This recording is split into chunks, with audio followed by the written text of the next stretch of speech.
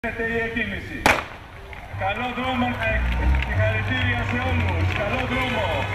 Ένα θερμό χειροκρότημα. Have a great race. Please, the warmest applause for our athletes. Let me hear your applause.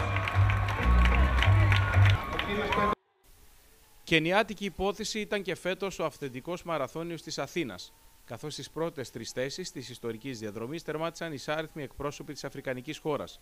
Μετά από 42 χιλιόμετρα και 195 μέτρα, πρώτος έκοψε το νήμα ο Σάμουελ Καλαλέη με επίδοση 2 ώρες 12 και 17 και τον ακολούθησαν οι συμπατριώτες του Μίλτον Ρότιτς με 2.14-18 και Τζόναθαν Γκιέκο Κίπου με 2 και 16. Παράλληλα, ο Κώστας Γκελαούζος αναδείχθηκε για πρώτη φορά στην καριέρα του πρωταθλητής Ελλάδος, καθώς τερμάτισε σε 2 ώρες 27 λεπτά και 21, ακολουθούμενος από τον Χριστόφορο Μερούση 2.28.19 και τον Παναγιώτη Καραΐσκο με 2.28.57.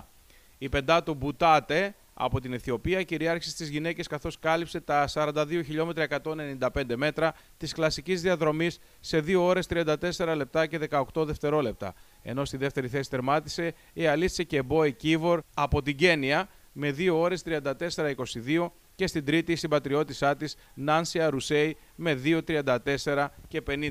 Από πλευράς καβαλιωτών αθλητών η Iron Team με τον Δημήτρη Νικολαίδη, Γιώργο Στερνιώτη, Εμίλιο Εμινίδη, Κώστα Τζάκη, Χρήστο Σιδερίδη, Δώρα Πάπη, Θόδωρο Μήτρα, Μιχάλη Σωτηρόπουλο ήταν παρούσα, καθώς βέβαια και οι παλιοί γνωστοί αθλητές ο Βασίλης Κυριλίδης, ο Γιώργος Κουντέλιας, ο Επίκορος Κινοτζίδης, ο Νεοχορλής Βασίλης, ο Τάσος Σταυρίδης και ο Νίκος Μαυρίδης.